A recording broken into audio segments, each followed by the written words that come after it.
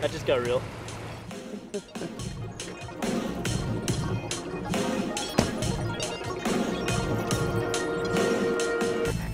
So we have managed to get ourselves stuck for real this time. Uh, it's not terrible, it's definitely manageable, but we're gonna use this opportunity to show you how to properly use your MAXTRAX. It's pretty basic. We do have a slight downhill to our driver's side, so we wanna be careful of that. We'll go get our MAXTRAX off and show you how to do this. I'm here to talk about Overland, from how-tos, advice, gear, vehicle builds, and everything in between. So one thing you do know about the MAXTRAX is this is a traction board. These teeth grip really well for you.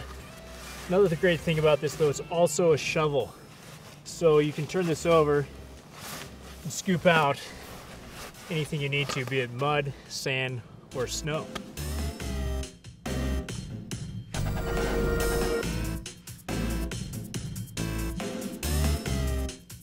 When you go to place your MAXTRAX under your tire, you want to make sure you can get a good purchase between the tire and the MAXTRAX.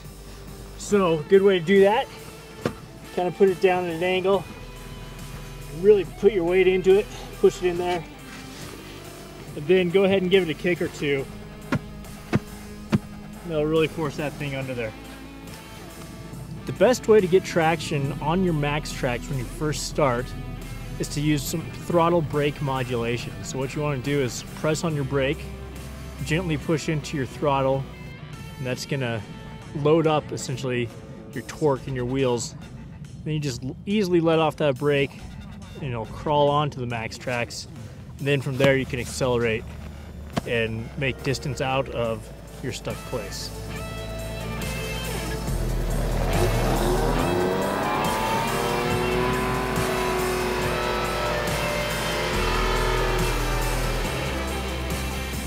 That's how easy MAXTRAX really make getting unstuck.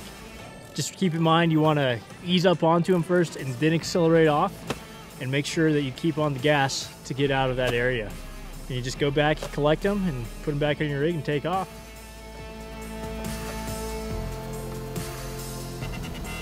So as you can see, MAXTRAX really are that easy. Leave your comments and questions below and stay tuned for our next episode.